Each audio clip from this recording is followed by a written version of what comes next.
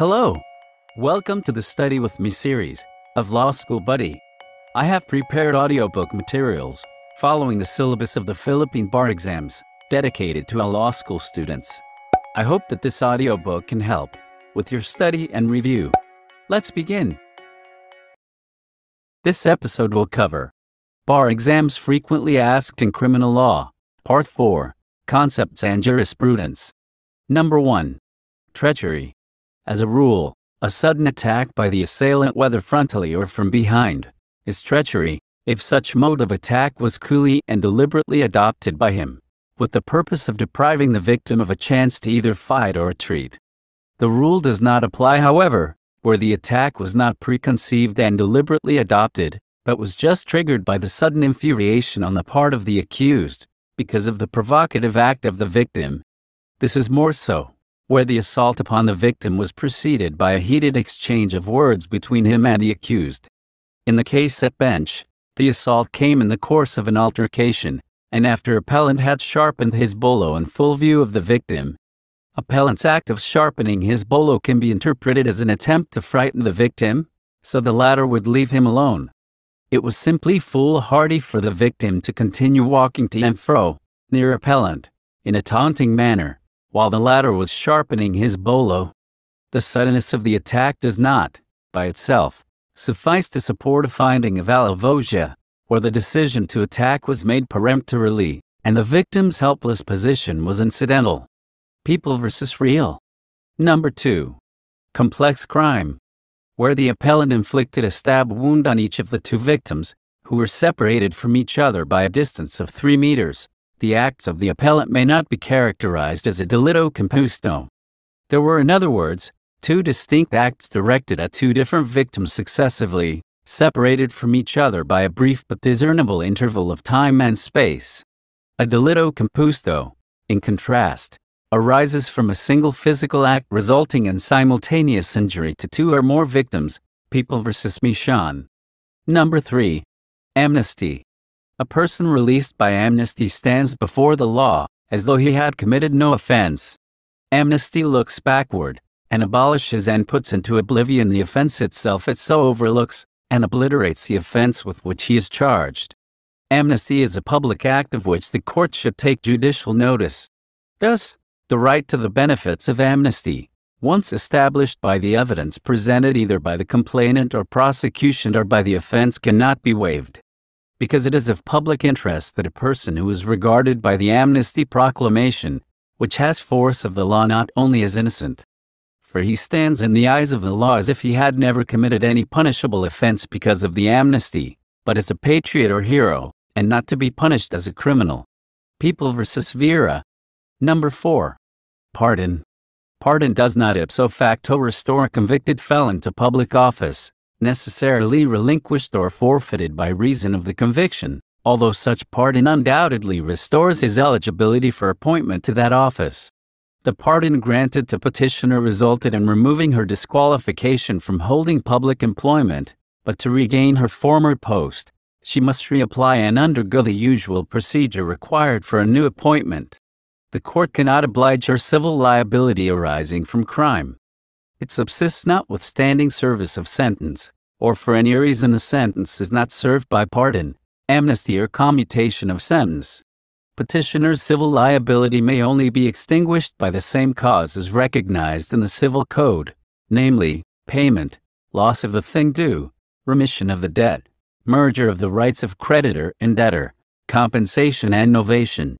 Monsanto versus Factoran. Number 5. Malversation. It is settled that good faith is a valid defense in the prosecution of malversation, for it would negate criminal intent on the part of the accused.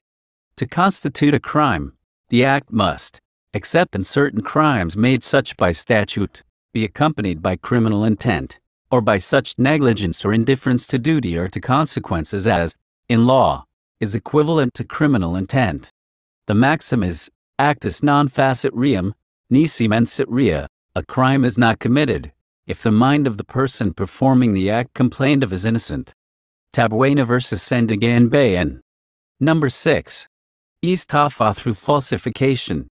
Acts of endorsing of checks, by way of identification of the signatures of the payees entitled to said checks and their proceeds, constitute the crime of estafa through falsification of mercantile document by reckless imprudence. Because such endorsement constituted a written representation that the payees participated in the endorsement and cashing of the checks, when in truth and in fact, the true payees had no direct intervention in the proceedings. In the crime of falsification by imprudence of public or mercantile documents, the element of intent to cause damage is not required, because what the law seeks to repress is the prejudice to the public confidence in these documents. Samson vs. CA. Number 7. Rape. There is no such crime as frustrated rape. Clearly, in the crime of rape, from the moment the offender has carnal knowledge of his victim, he actually attains his purpose and from that moment also, all the essential elements of the offense have been accomplished. Nothing more is left to be done by the offender, because he has performed the last act necessary to produce the crime. Thus, the felony is consummated. The uniform rule is that for the consummation of rape, perfect penetration is not essential. Any penetration of the female organ by the male organ is sufficient. Entry of the labia or the lips of the female organ, without rupture of the hymen or laceration of the vagina, is sufficient to warrant conviction. People vs. Quiñanola. Absence of injuries does not negate the commission of rape. It is true that, although complainant testified that appellant boxed her on the stomach, the medical report did not indicate any abrasion, hematoma or bruise on that part of her anatomy. This is of no consequence. Medical authorities agree that when force is applied on the stomach, no marks may be detected. Injuries may have been caused in the internal organs, but external signs are not always visible. The absence of injuries, however, does not negate the commission of rape. People vs. Joyak. It should be underscored that the presence or absence of spermatozoa in the vagina is not determinative of the commission of rape, because a sperm test is not a sine qua non condition for the successful prosecution of a rape case. Thus, the lack of spermatozoa in a victim's body does not negate the crime of rape. The important element in rape is penetration of the pudenda and not emission of seminal fluid, people vs. Spondoi. Number 8. Robbery. When robbery is committed by three persons in conspiracy and not by a band, that is more than three armed malefactors taking part in the commission of the crime. Only the offender committing rape shall be liable for the special complex crime of robbery with rape, People vs. Moreno. It should be noted that there is no law providing that the additional rape or homicide should be considered as aggravating circumstances. The enumeration of aggravating circumstances under Article 14 of the Revised Penal Code is exclusive, as opposed to the enumeration in Article 13 of the same code regarding mitigating circumstances, where there is a specific paragraph providing for analogous circumstances.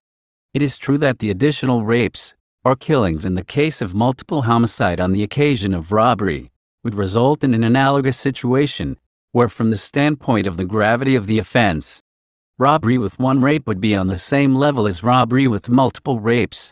However, the remedy lies with the legislature. A penal law is liberally construed in favor of the offender, and no person should be brought within its terms if he is not clearly made so by the statute. In view of the foregoing, the additional rape committed by her an accused appellant should not be considered as aggravating. The proper penalty of reclusion perpetua imposed by the trial court is proper, People v. Regala. In robbery with homicide cases, the prosecution need only to prove these elements a. The taking of personal property with violence or intimidation against persons. b. That the property taken belongs to another. c.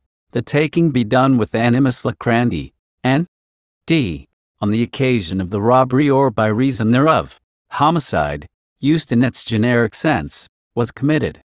These elements were present when accused appellants, acting in unison, demanded money from her mother, forcibly took the same against her will and then hacked her to death. People vs. Kabiles. It has been repeatedly held that when direct and intimate connection exists between the robbery and the killing, regardless of which the two precedes the other, or whether they are committed at the same time. The crime committed is the special complex crime of robbery with homicide. It is a settled doctrine that when death supervenes by reason or on occasion of the robbery, it is immaterial that the occurrence of death was by mere accident.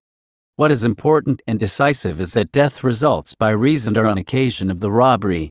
The death of a robbery victim by accident can, however, be considered as a mitigating circumstance. If the circumstances would indicate no intention to kill, as in the instant case where evidently, the intention is to prevent the deceased from making an outcry, and so a pandazole was stuffed into her mouth. The mitigating circumstance of not having intended to commit so grave may be appreciated, the stuffing of the pandazole in the mouth would not have produced asphyxiation had it not slid into the neckline, caused by the victim's own movements. People vs. Rowe. Number 9. Kidnapping with serious illegal detention. The essence of kidnapping or serious illegal detention is the actual confinement or restraint of the victim or the deprivation of his liberty. There is no kidnapping with murder, but only murder where a three year old child was gagged, hidden in a box where he died and ransom asked. The demand for ransom did not convert the offense into kidnapping with murder.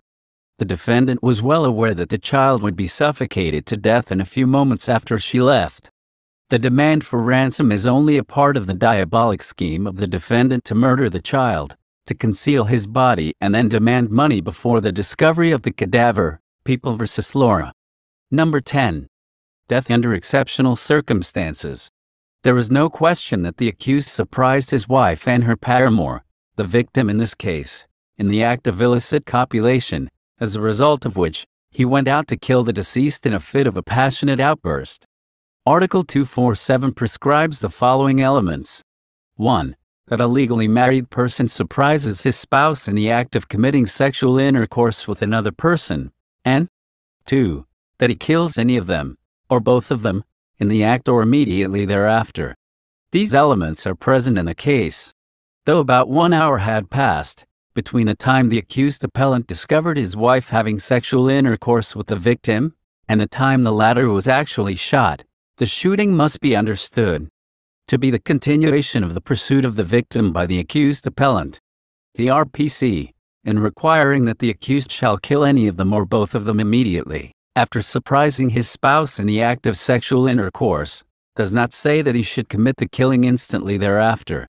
It only requires that the death caused be the proximate result of the outrage, overwhelming the accused after chancing upon his spouse, in the basest act of infidelity.